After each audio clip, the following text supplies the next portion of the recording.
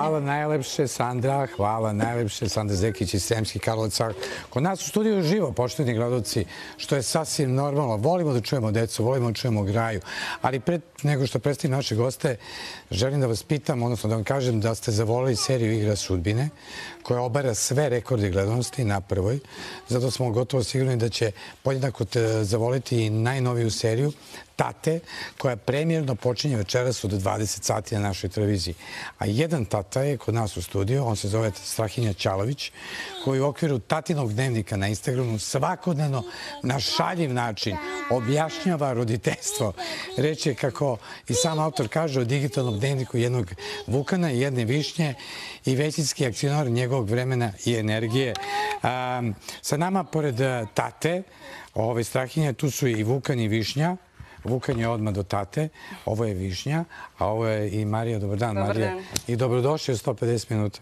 Hvala. Strahinja, e sad, pita vas ja kao tata, da li vas je možda muka naterala da...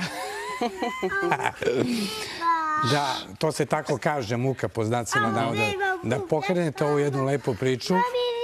Ko je ono, Vukane, ko je ono na televiziji? Ko je to? Jel vidiš sebe? Koga vidiš tamo? I u stvari, kako ste došli na ideju da, da napravite tatin nebo? Pa, zapravo je vrlo jednostavno. Ovaj, ja se inače bavim digitalnim marketingom, odnosno društvenim mrežama. Uh Radim od kuće i dosta vremena provodim sa decom. I onda sam eto tu muku, da kažem, roditeljsku pretvorio u jedan kreativni izraz koji se ljudima dopao, čak i u većoj meri nego što sam mislio. Mi sada na Instagramu delimo tako te neke zanimljive fragmente iz našeg života. Ljudima se dopalo i ovaj, iako zvuči kao fraza premašilo je naše očekivanja, Vukan i Višnje su sada onako prilično popularni na toj mreži. Mhm, znači zvezde. Marija, kako vi gledate, kako ste vi gledali na ovo što je Strahinja započeo tu priču, da je faktički uključena cela porodica ovaj, e, u, ovoj, e, u ovoj priči, da kažem, digitalnoj priči? Da, e, pa iskreno rečeno, mi smo u početku razmišljali, ovaj, nekoliko mjeseci se to lomilo u nama, da li da sve to mi iznesemo u javnost, ali onda, pošto će oni svakako u, jednom trenutku sada u, doba digitalizacije sve to doći do, do, do tih društvenih mreža, onda smo shvatili da je možda lakše da mi nekako kreiramo sliku njima ono kako mi želimo i da to podelimo sa, sa narodom, a i da malo nasmejemo ljude kad već kad već imamo priliku za to. Kad imate priliku. A šta ljude zasmejava? Šta ljudi najviše vole? Pretpostavljam na Vukana i ovaj, Višnju. Pretpostavljam da je to najinteresantnije njihove dobrodoštine. I po čemu, kako vi ovaj, procenjujete šta to nas najviše interesuje na vašem blogu? Pa, u principu, ljude najviše interesuju oni, naravno, oni su, da kažem, i zvezde tog profila i mhm. ovaj 99% stvari koje pišemo je vezano za njih. Mislim da je tu dobitna kombinacija što imamo i dečaka i devojčicu koji se ovo vidite vole ovaj, i, što, i što je mali razmak između njih. I onda imamo sve one roditeljske muke tipa mali razmak, dečački hirovi, uh, hirovi devojčica i tako dalje i tako dalje. I onda u principu imamo toliko zabavnih stvari da se svako pronađe u nečemu. I najbolje su reakcije baš onih ljudi, odnosno 99% oni koji nas prate su roditelji. I onda oni čim prepoznaju sebe u tome, njima to bude ultra zabavno.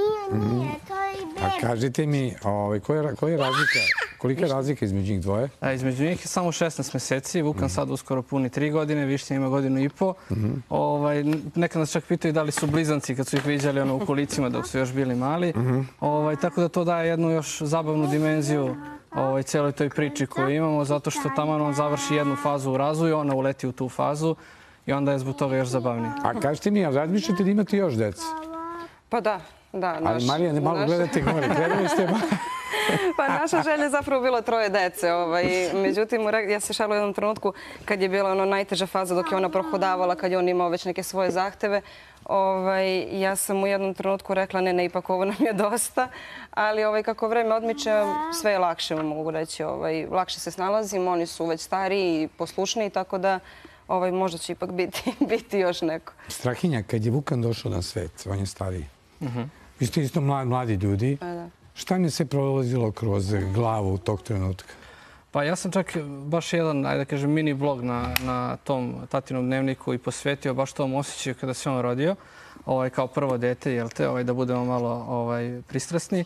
I baš sam napisao da u principu, kao, to je kao ono kad napunite 18 godina pa sad očekujete neku veliku promenu, mm -hmm. zapravo se ne desi odmah, ali postepeno se ta, ta, taj osjećaj pojačava. Ja sam čak par puta već naglasio, pojačaju se emocija, pojačaju se i strahovi, što je sasvim normalno. I čini mi se da, ovaj, malo poetski da kažem, da sva deca sveta postanu vaša deca u trenutku kad vi postanete roditelji. Jednostavno postanete osjetljivi prema svima. Mm -hmm. Moj Luka pisao. Šta? Šta, Vukane? Šta si pisao? Šta si pisao?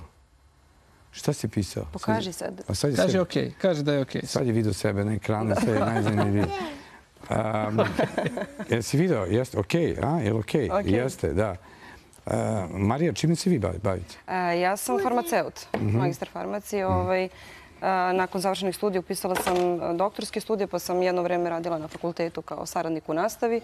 Međutim, posle jedna trudnoća druga i onda smo sad odlučili, ipak kad smo izvagali sve, pošto akademska, akademski, akademsko zvanje i nauka i sve to zahteva mnogo, mnogo truda i rada i odricanja. Ja trenutno nisam u mogućnosti da se odreknem njih, onda je bolje bilo da se odreknem posla, pa dok oni malo ne porastu, onda ću se Za sada vratiti. ne radite, znači? Za sada ne radim, da. Što znači, Strahinja, od uh, digitalnog uh, posla može da se živi. Četvoročlana porodica može da živi u Srbiji. Pa može, to je, to je jedna grana koja je u ekspanziji, posebno marketing. Jednostavno i sami ste svesni da evo recimo i prva ima sjajne kanale na, svoje na društvenim mrežama. Društvene mreže su postale dnevno svakodnevnice. U Srbiji posebno ogroman broj ljudi ima pristup internetu. Ogroman broj ljudi koji ima pristup internetu ima pristup društvenim mrežama. I onda, I onda je to postalo jedan onako, ajde da kažem, posao koji je isplativ i stalno se traže novi kadrovi. Tako da ko razmišlja da krene tim putem, ja mu preporučujem da krene bez, bez nekog straha. A znate šta sam teo da vas pitam? Uh, Da li vas kritikuju vaši prijatelji, vaše kolege, vaše komšije? Znate vi šta hoću da vas pitam? Što ovako javno ovaj, decu eksponirate?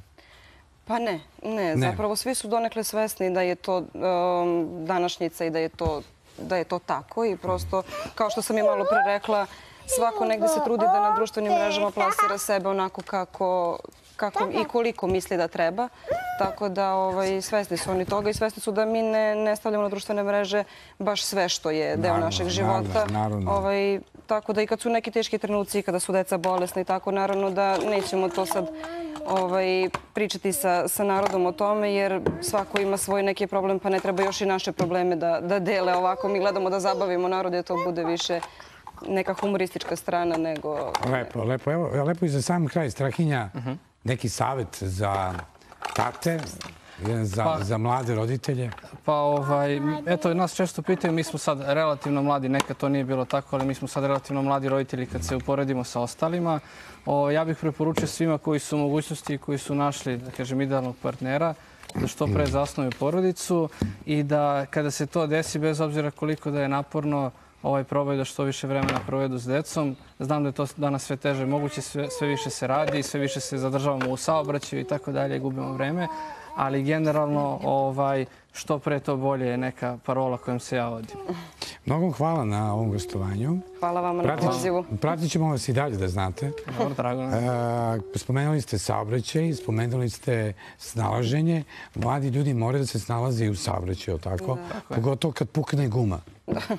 Ko se onda tu bolje snalazi, mi ili dragi dame? Pa mi, ali ja baš nisam ekspert po tom pitanju. Da mi tako zato da... što ne pozovu vas. Ili već stane deset ovakvih poput mene i strahinje i reše problem, ali Da, tako? da. I znači da se dama bolje kombinacija. To snalazi. znači samo osmeh na lice. To je u stvari poenta života. Mnogo hvala na gostovanju. A mi smo došli do rubrike, a povezana je s ovom prižom koja se zove Pokaži mi da znam. Gde si?